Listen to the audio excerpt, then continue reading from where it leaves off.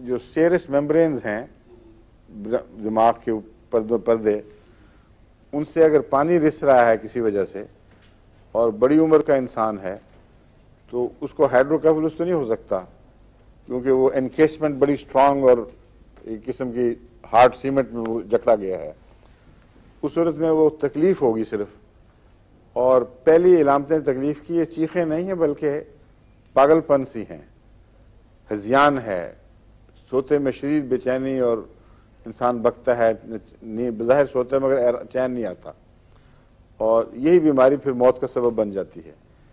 ऐसी सूरत में वो दवाएँ इस्तेमाल होंगी जिनका बरह रास्त पर्दों और उनके पानी निकलने से ताल्लुक़ है।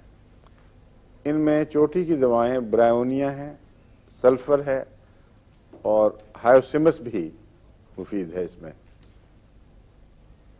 और एक और, नहीं, वो और दूसरी चीज़ में दिया करते थे। स्टेमोनियम के मुतलिक भी इम्कान है कि वो भी इसमें काम आए। पानी निकल रहा हाँ। एपोसाइनम का मुतलिक मैंने बताया था ना, हाइड्रोकैफलिस में देखिए, मगर मैंने कभी इसको, उसमें इस्तेमाल की एपोसाइनम की बात खास इलामतें हैं जो अक्सर इन मरीजों में नहीं पाई जाती।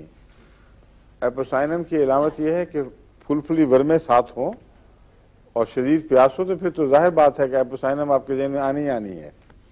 लेकिन बिलमूम टाइफाइड वगैरह के बाद या बाद दूसरे बीमार बुखारों में, ये कैफियत पैदा हो जाती हैं।